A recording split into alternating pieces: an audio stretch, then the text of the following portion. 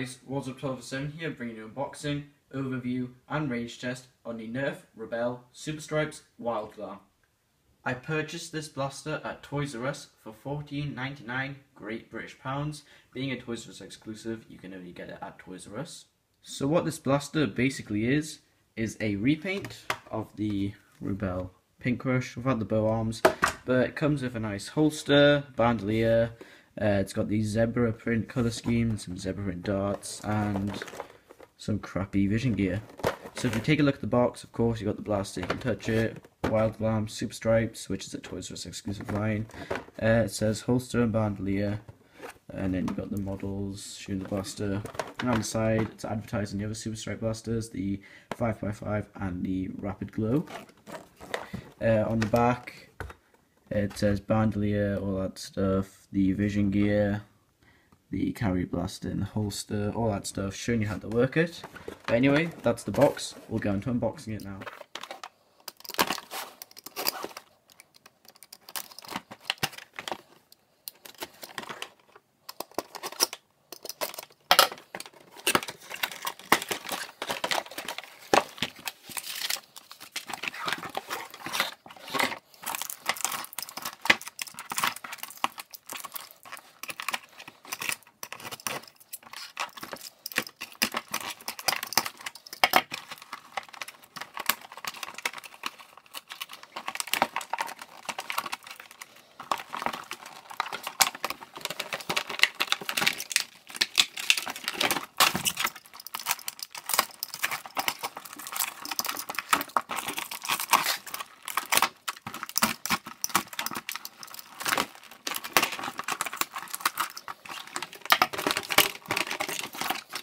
So what you get inside the box is the bandolier, the holster, the seven uh, zebra print elite darts, the instruction manual. Just take a quick look at this.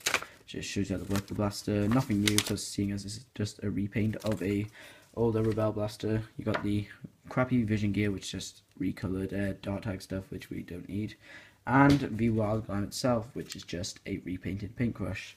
The bow arms from the Pink Crush will still fit on it, seeing as it has a hole in the front but that looks a bit goofy there, so take it off. I prefer it with other arms, but it's more sleeker and smoother.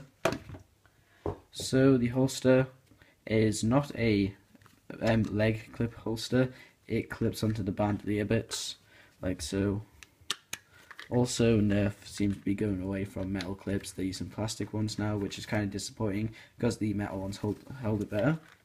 But then you just put the bandolier on, you won't be able to see this, but it's kind of small when you first get out the box, so you just need to resize it. And that kind of fits me. Then the blaster fits in the holster, I'll just try that out here. Fits it very nicely. Um, it's not going to come out at all. I just, sorry, this is off camera. Just taking the bandolier off. So it fits the holster very nicely. I can get it in right and that is not coming out at all. It's very stable. As you can see, not coming out. Uh, the bandolier has slots for 10 darts, but it only comes with 7, so usual nerf not giving you the amount of darts that you needed. So they just go in like so. Only going to put 2 in for now, but that would be the same going all the way up. So how the, you work the blaster is you put the dart into the nozzle here, pull it back, sure you all know how to work a fire strike, and then pull the trigger fire, and that hits very hard. Same again, just put in the dart in and fire. I'll give you a range test of the Wild Glam now. On to the range test of the Wild Glam. We'll be doing 12 shots of the Elite Darts fired flat at shoulder height. So anyway, let's go on with the range test. 12 shots fired flat, here we go.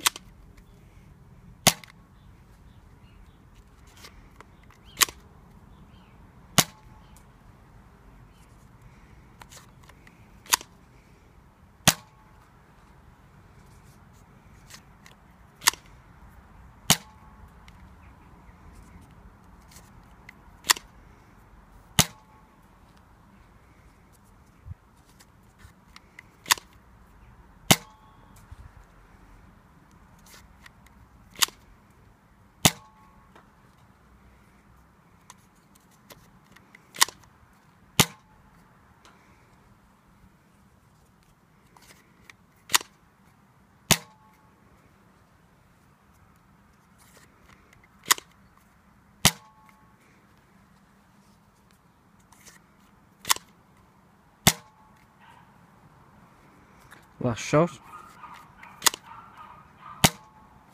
Okay, let's go see the range. The lowest shot is sitting on 27 feet. The next two shots here are at 31 feet. This shot and this shot are at 36 feet. This shot here is at 39 feet. This one's at 41 feet. These darts here are at 46 feet. This shot's at 50 feet. And the top shot went quite far out to 64 feet. With ranges of 64 feet flat, that's very good for a blaster like this. But anyways, we'll get on to the overview of the Wild Glam now. On to the overview of the Wild Glam, starting with the function of the blaster. You place your dart into the nozzle here, then you pull back this until it clicks, and pull the trigger to fire. The blaster has a tactical rail and a sling mount, which is always handy. Here is a comparison to the Pink Crush. As you can see, same blaster, same design, just different colour schemes. I like this one much better with the white and zebra stripes better than the pink and purple feathers. Also, remember how the Pink Crush had the bow arms, like that. The Wild Glam has the same hole, so the bow arms will fit on the Wild Glam as well. It's got a very nice holster. It fits the blaster really nicely. So you clip that in there.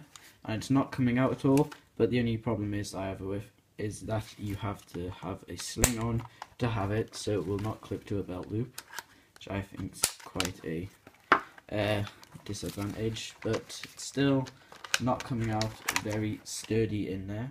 The bandolier is a basic bandolier, hold starts but no clips seeing as it's not needed for clips and it will, what it's made for is it will clip to blasters or the holster.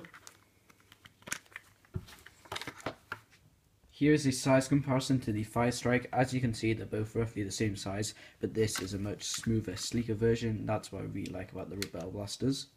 It's up to you if you want to go out and buy yourself the Wild Glam. It is just a repainted Pink Crush that comes with a holster and bandolier. But anyways, please like, comment, subscribe, follow me on Instagram, warsup009, and as always, thanks for watching.